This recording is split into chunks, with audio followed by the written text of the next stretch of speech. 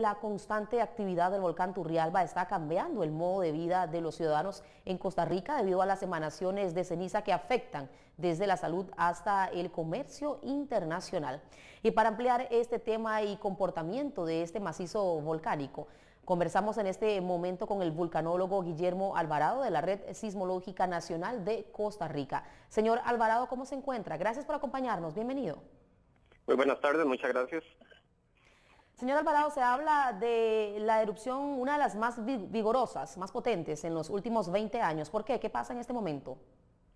Bueno, en realidad eh, han habido varias de, esa magnitud, incluso la del 30 de, de, octubre del 2014 fue bastante fuerte desde el punto de vista energético. Más o menos hay una o dos erupciones importantes cada año como estas que han habido ahora. Eh, en realidad, este mismo, el 19 de septiembre, alguna de ellas alcanzó los 4 kilómetros de altura sobre el nivel del cráter. Entonces, en realidad, eh, pues lo que tenemos son erupciones grandes, digamos, comparados en los últimos eh, cuatro años, pero todavía se mantienen dentro del rango de, llamemos, de la actividad normal del volcán. Perfecto. ¿Cuál es la tendencia entonces, señor? Alvarado en este momento y qué se prevé para los próximos meses con respecto al comportamiento del volcán? Bueno, como se ha dicho reiteradamente, eh, hay una buena, hay una cámara un reservorio de magma, una bolsa de magma en profundidad del volcán entre unos 4 y 7 kilómetros, es lo que se estima de profundidad por debajo del cráter.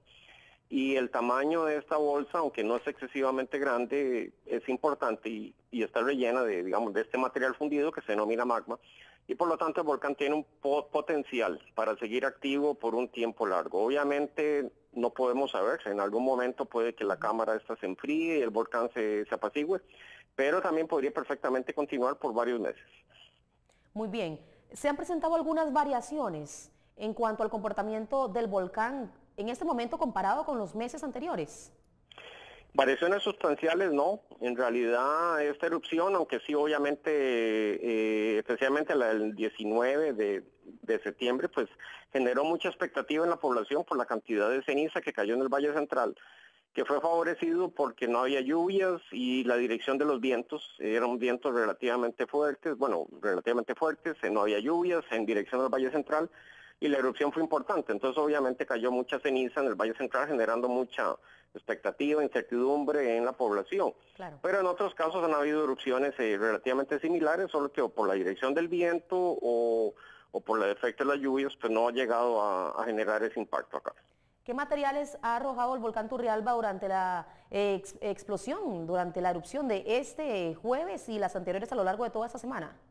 Bueno, lo que está arrojando es gran cantidad de ceniza, ceniza fina, a, ceniza gruesa y también material que se denominan bloques han sido lanzados en la vecindad, en la vecindad del, cráter eh, activo y esas cenizas se, han vertido en el día del 19 hacia el, hacia el oeste del volcán.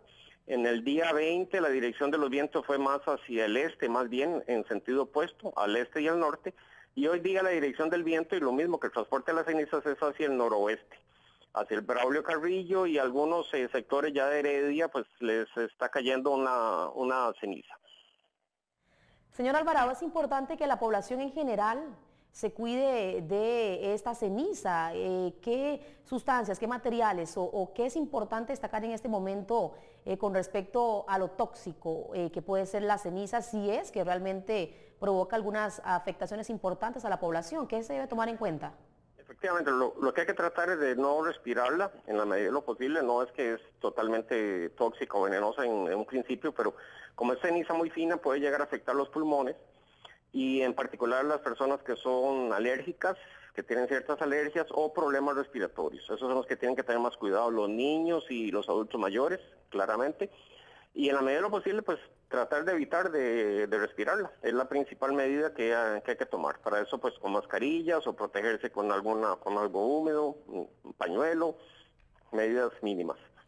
Señor Alvarado, ¿ha visitado usted el volcán Turrialba durante las últimas horas? Sí, efectivamente, yo estuve el día el 20, estuve ahí, subí a la, a la cima, estuve en, la cima, en la parte del mirador, no descendí el cráter por la parte peligrosa, digamos, porque en ese momento el volcán estaba con erupciones cada 15, 20 minutos. Eh, y entonces había un peligro innato, pero bueno, el, el, proceso de lo que se observó desde el mirador, digamos, es más o menos similar a lo que se ha presentado en los meses anteriores.